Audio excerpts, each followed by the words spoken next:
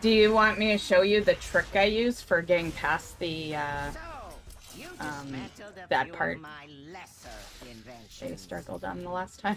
Let us see how you fare against I can go first and then you can just watch me.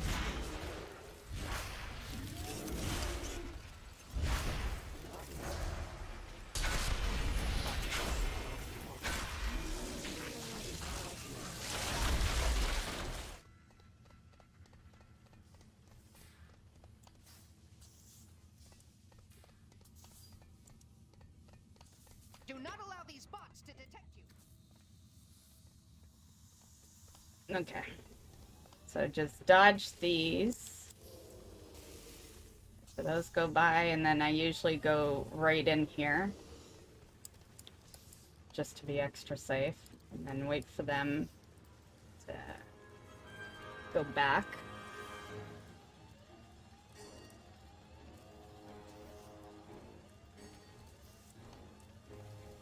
And run to this vent.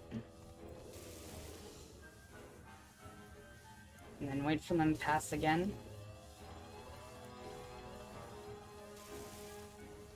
Run around.